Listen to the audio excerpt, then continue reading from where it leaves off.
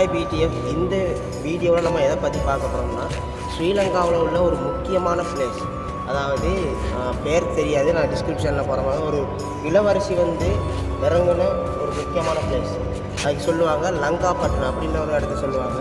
இது வந்து ஒரு பௌத்த ஆலயமாக இருக்குது. இந்த அதுக்கு மேலே தான் நாங்கள் போய் பார்ப்போம்? இந்த வியூ வந்து வேறு லெவல் சுப்பீரியாக இருக்குது முக்கியமாக எங்களோட plug two YouTube channel like பண்ணுங்கள் ஷேர் பண்ணுங்கள் சப்ஸ்கிரைப் பண்ணுங்கள் வாங்க வீடியோக்கு போகலாம்